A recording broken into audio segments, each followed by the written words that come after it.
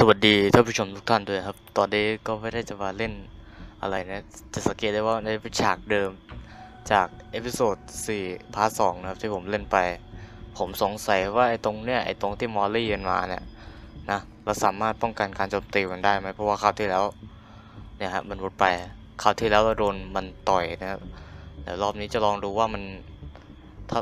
แล้วถ้าเรา มันจะมีโอกาสที่เราจะต่อยเขาได้หรือเปล่านะมาแล้ว นี่นั่นแหละ จัดไป เฮ้ย โอ้โห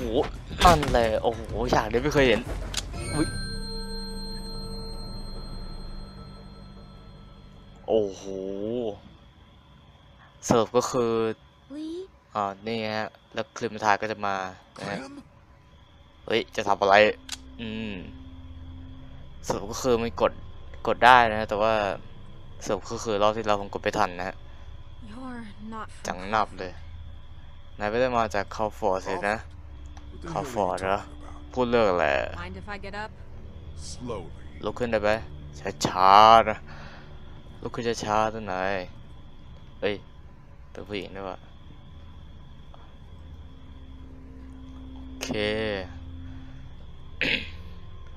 สรุปก็คือกดได้นะก็โอเค ก็มาลองแค่นี้แหละอย่าลืมกด subscribe กันด้วยนะอันนี้ก็ Get her!